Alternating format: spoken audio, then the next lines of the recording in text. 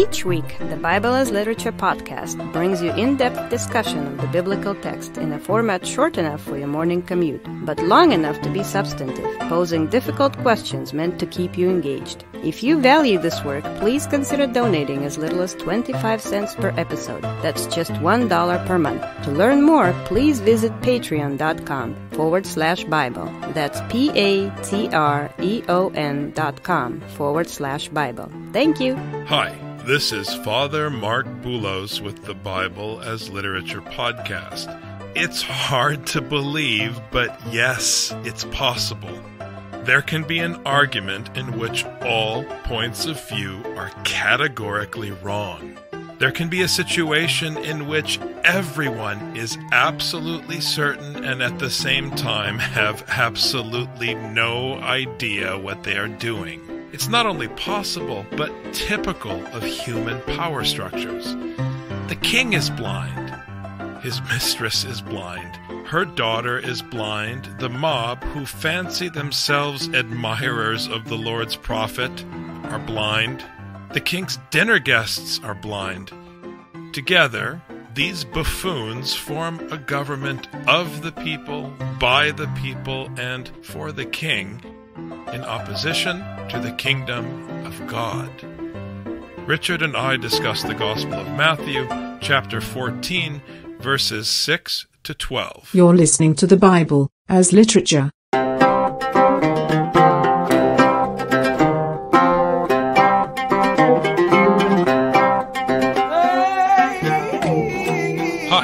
This is Father Marc Boulos. And this is Dr. Richard Benton. And you are listening to episode 311 of the Bible as Literature podcast. What's so interesting about Scripture and about Matthew's handling of King Herod of the Herodian dynasties, Richard, is that it always seems to come back down to the same old thing this tension between what is lawful and the fear that controls the crown. We've said many times over the past few episodes that the mob has a part to play in tyranny. The mob is afraid, and so they look to the king for security. And the king, of course, is afraid of the mob.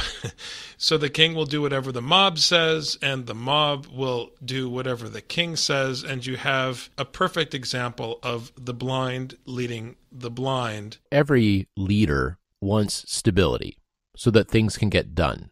In order to create stability, they may have to squash some chaos that they perceive, but ultimately, what they want is to control the area so that it's stable, so they can do what they want to do. Even though he's just talking about who he can marry, the fact that there's been this John the Baptist preaching this word, a kingdom that's coming, is recognized by Herod as a threat. That's why he's saying, oh, when Jesus speaks, this is John raised from the dead.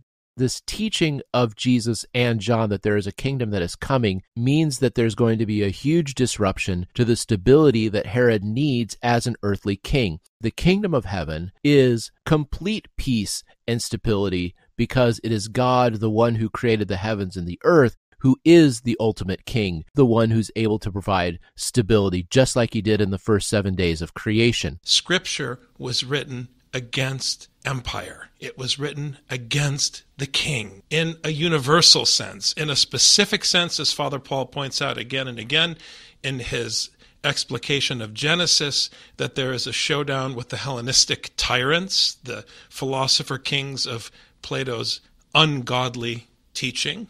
But it's true in a functional sense. You can look at power operating in the world.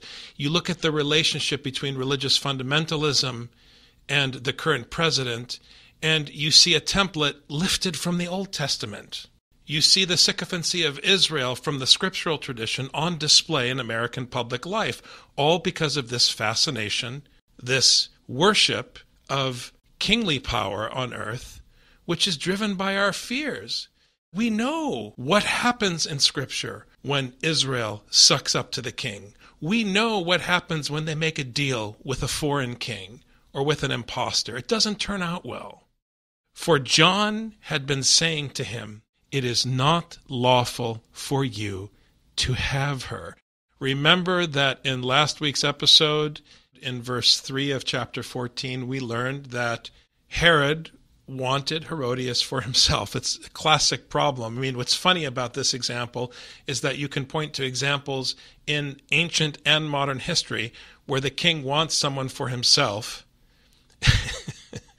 and the religious official says, You can't have her.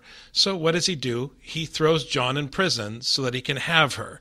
He was upset. He persecuted John. And remember, John is also a metaphor for the Apostle Paul he persecuted the one who was sent to deliver the instruction because he didn't like what the instruction had to say. This instruction is particularly important because we have to understand that Herod is Jewish and bound by Torah. So, this is why John is able to approach him with this directive now, of course, like you say, Father, the king wants to have what he wants to have, and this is the ultimate tension. When the king sees that there should be something that he can have so that he can rule, he wants to be able to exercise his power. When he can't exercise his power, that's when there's a problem. This is why earthly kings cannot be compatible with the kingdom of heaven because earthly kings need to be able to use their earthly power if they're going to consider themselves kings.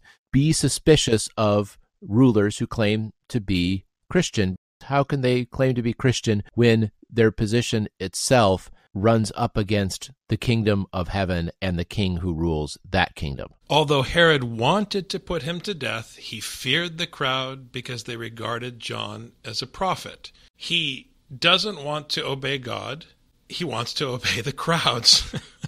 it's a very interesting scenario where his inclination is to go against God and at the same time to do whatever the mob wants, which puts him in a tough spot because they like John the Baptist. He's popular. It's really condemning Herod. This sandwich between verse 4 and 5 is really something because Herod is isolated by his desires and his fears. It's ironic because we just finished the last chapter where Jesus was not recognized as a prophet in his own country what we're getting at here between the end of chapter 13 and here at the beginning of chapter 14 is this fickleness of who's a prophet and who isn't a prophet. The problem is for people at the synagogue in the end of 13, Jesus's genealogy is the reference point. Well, if this is the son of Mary and these are his brothers, then how can he be a prophet?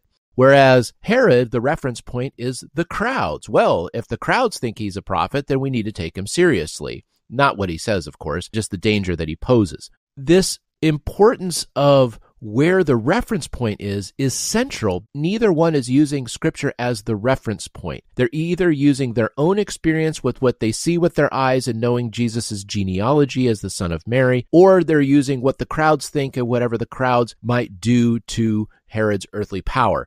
Who Jesus is, who the prophet is, who John the Baptist is, only functions with respect to Scripture. But when Herod's birthday came, the daughter of Herodias danced before them and pleased Herod, so much so that he promised with an oath to give her whatever she asked. It's very difficult here in verse 7 not to think once again of the Sermon on the Mount in the Gospel of Matthew. Let your yes be yes, and your no be no. What right has Herod to swear against anything? He doesn't own one hair on his head. It's important, again, that it is a king taking an oath because, in the minds of those who are not scripturalized, the king is the proprietor in the land.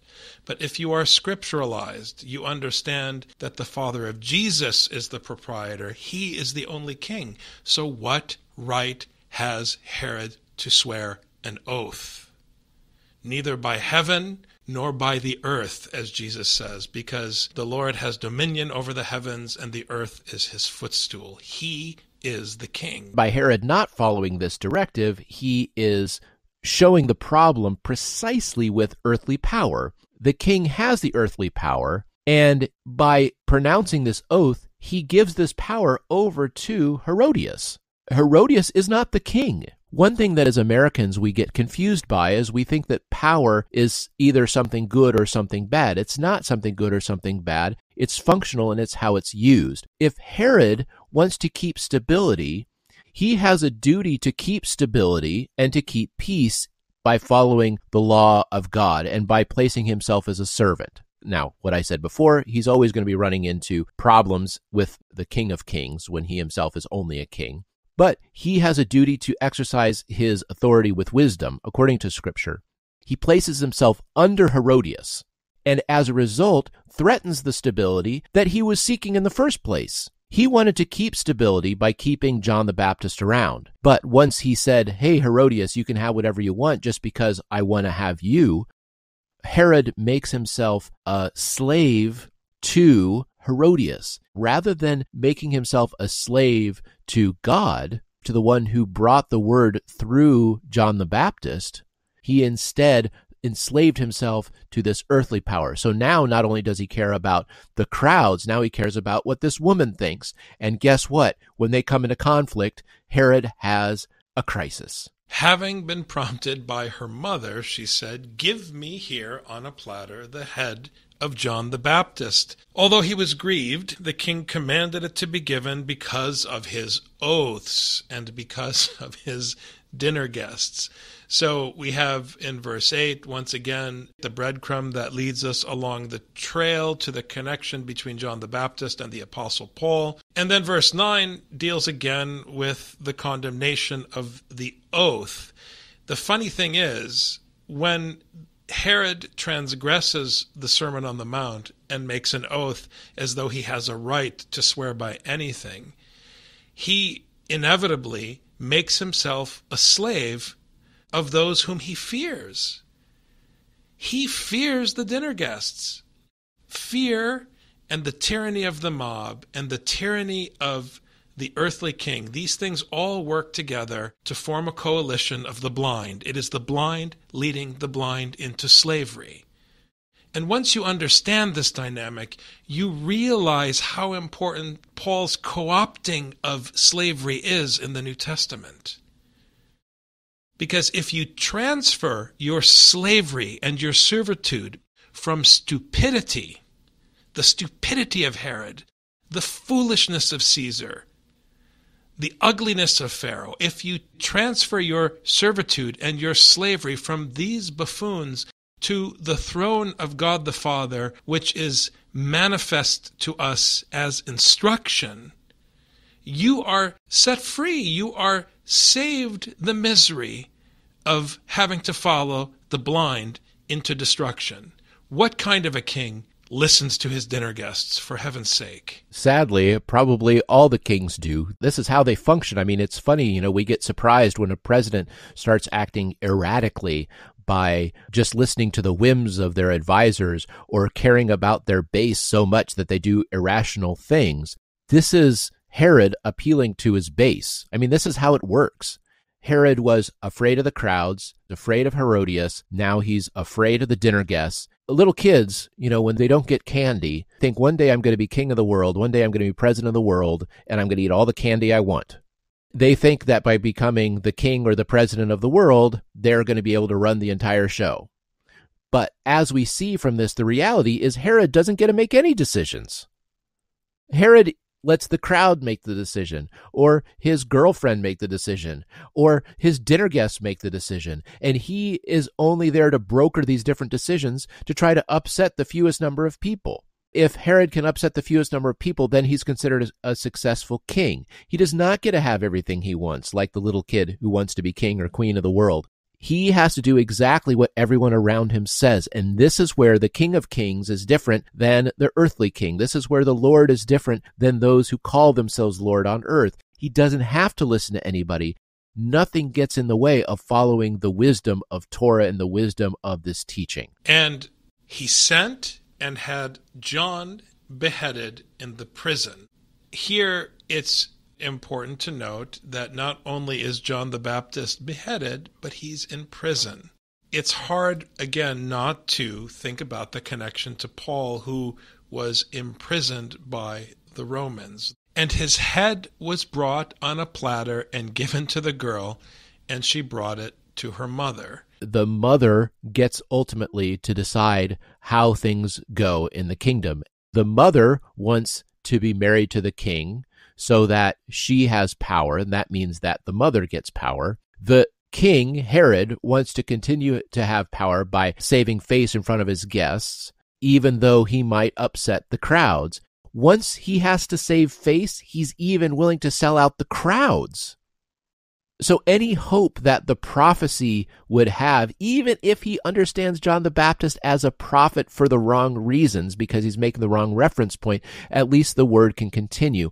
But because Herod sells out himself and sells out the authority given to him as king in order to make his girlfriend and his new mother-in-law happy, everything begins to fall apart. As we said before, the people at the synagogue were incapable of seeing Jesus as a prophet, and ultimately Herod has to sell out John, even though the crowds that he's worried about might think he's a prophet. The prophets are the ones who end up ignored and silenced. His disciples came and took away the body and buried it, and they went and reported it to Jesus.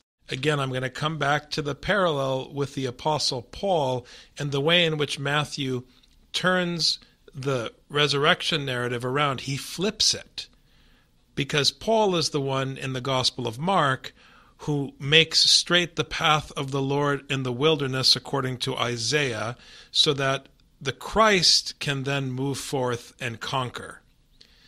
Now, here in verse 12, you have John murdered and the body is buried, which has already, if you understand the whole context of Matthew, has a paschal ring to it. But then it's the second half of the phrase where they reported it to Jesus. Essentially, they are proclaiming the news, they are proclaiming the death of John the Baptist, they are proclaiming the death of the Apostle Paul to the Christ. And the word in Greek for reported is apangelo. If you hear it in Greek, it has the sound of the proclamation of the good news. This is a sign, it is a scriptural sign of God's judgment, just like the resurrection of Jesus at the end of 13, Jesus was leaving the synagogue because they were scandalized at Jesus, his works, and his words, and they couldn't recognize him. And then we move to a Jesus who is receiving the sad news of what happened to John the Baptist, who was his kin in that he was preaching the same word as Jesus. So, what does this do literarily? Because why did we have to bring in a whole story about John the Baptist? Why didn't we just continue with Jesus? Why do we need this whole story? And what I think is happening here is we really see what the stakes are. When people confuse Jesus's message, when people confuse this message of the kingdom of God, people die, people are persecuted, people misuse power, and this is the inevitable end of misuse of power, the inevitable end of ignoring this message. We can't take lightly the fact that they were scandalized by Jesus in the synagogue because it leads to this precisely the imprisonment and beheading of those who would preach this word. So I think this chapter, this first half of the chapter, really raises the stakes on what Jesus is doing hopefully this is going to be a bucket of cold water on the disciples who think that this is a game. This is very serious business. This is why Jesus has been so impatient to get this word out because he knows that as soon as you light the fuse on the gospel, it's going to explode and the person giving the message is going to end up with his head on a platter or some other equivalent end. Ultimately, the dread that you think is applied to the one who is persecuted transfers to Herod, it transfers to the king. It reminds me of the parable of the sower.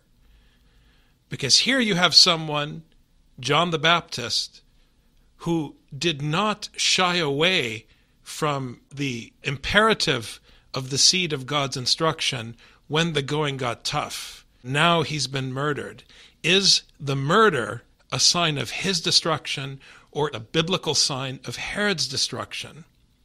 This is how the resurrection functions in the New Testament. There is a judgment that is wrapped up in the death and the proclamation of the resurrection of Jesus Christ. And here in this beautiful pericope about Herod, we have a kind of mini paschal narrative in which Matthew is conveying the showdown between the resurrected Christ and Julius Caesar the death of Christ is a threat to Caesar. The death of John is a threat to Herod. And for those who trust in the Evangelion, we trust in this victory. So it's not clear that the beheading ultimately is a defeat. in the New Testament, and that is, of course, why John the Baptist in our tradition is depicted holding his head on a platter in the way that others hold the gospel, and often he's holding his head and also holding a scroll proclaiming the call to repentance. Thanks very much. Thank you, Father. You've just heard the Bible as literature. Thanks for listening. The Bible as Literature is a production of the Ephesus School Network.